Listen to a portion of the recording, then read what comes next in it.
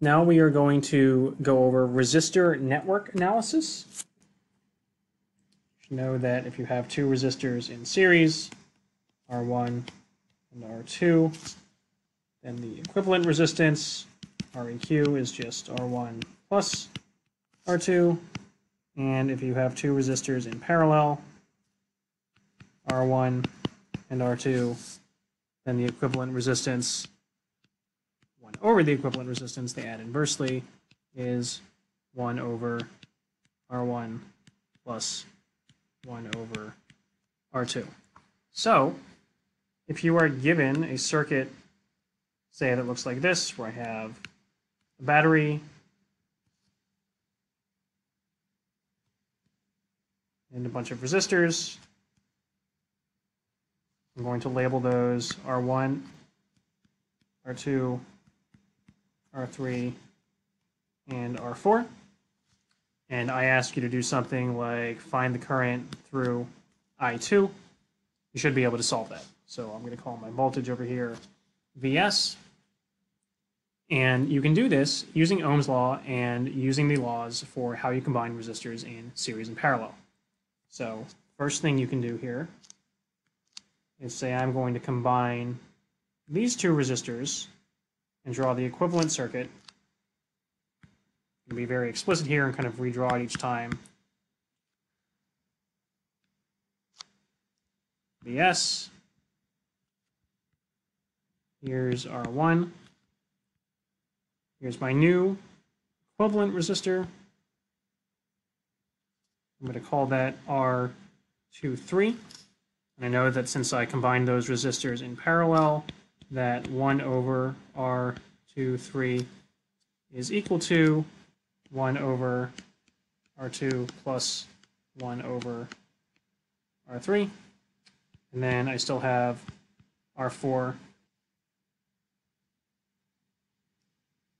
So I can now go another step and say I'm just going to combine all three of those resistors in series.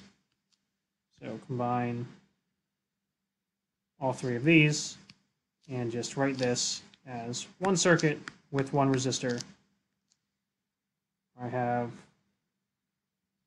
I'll call that R1, 2, 3, 4, which is equal to R1 plus R23 plus R4. And now I can easily solve for the current to that equivalent resistor, call that I, using Ohm's law, Vs equals I R one, two, three. Okay, I'm going to go to the next slide here. I can now do, I'm sorry, that's a terribly drawn battery, is back up and say, okay, I'm breaking that back out into my previous equivalent resistors where I have R1, R2, 3, and R4. I know they're all in series, so they all have that same current I.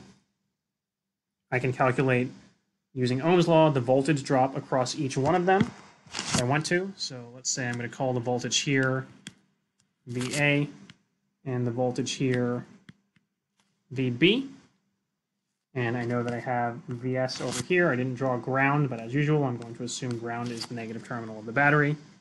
So I can use Ohm's law to calculate the voltage drop across this resistor and the voltage drop across this resistor. That will give me VA and VB. I can then break this up even further, get back to my original circuit where I have R1, R2, R3, and R4. Yes. So I have my current I that I calculated. That's still the same through R1 and R4, but I don't have I through R2 and R3 because they're in parallel and that current splits. But based on what I did in the last step, again, I, maybe I could have written this out, VA is going to equal VS minus I R1. VB is going to equal zero. Just remember my ground voltage is zero volts plus I R4. So that's just Ohm's law and adding voltages in series. So going back here, now I know VA. I know the B. So now I can apply Ohm's law to each of the resistors R2 and R3 individually. So in this case, for R2, I have VA minus VB equals I2 R2, and I can use that to solve for my desired current I2. So that was pretty straightforward, but a lot of work to combine all those resistors, calculate the current, and then kind of expand it all again until I could find the current through the resistor I originally wanted. What we're going to talk about in lecture is something called mesh analysis and node analysis that allow you to do this a little more systematically and come up with a system of equations that you can then solve all at once instead of kind of slogging through the whole circuit like this one resistor at a time.